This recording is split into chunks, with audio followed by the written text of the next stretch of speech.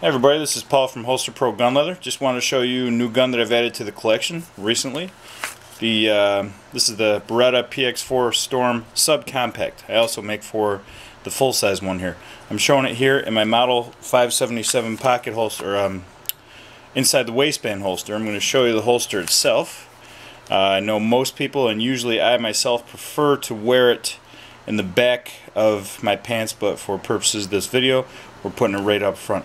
I make all my holsters with uh, very thick, durable, long-lasting 8 to 10 ounce English bridle leather and I stitch everything glue first and stitch with a thick nylon slash polyester thread that is very uh, durable, stands the test of time. I make everything by hand as it is ordered. I make everything right here in the United States of America. I don't sub out to any of these uh, shops or countries or whatever it is outside of here because I believe Made in America should still mean something. Check me out at holsterpro.com and I'll get to work for you today. Thank you.